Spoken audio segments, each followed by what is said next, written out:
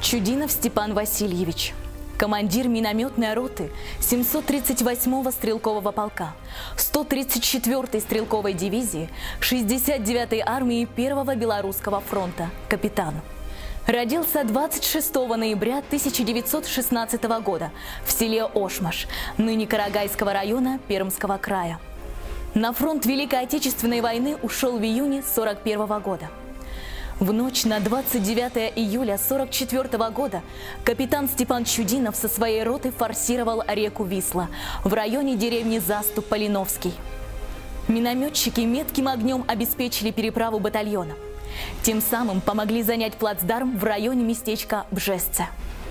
В боях на плацдарме за двое суток минометчики вместе со стрелками отбили 9 ожесточенных атак вражеской пехоты, поддержанной танками.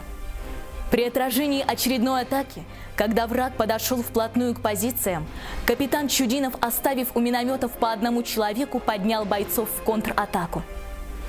Враг был отброшен.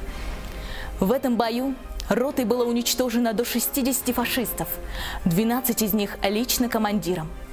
Плацдарм был удержан. После войны герой Советского Союза Степан Васильевич Чудинов вернулся на родину. Несколько лет прослужил в милиции Краснокамского горисполкома.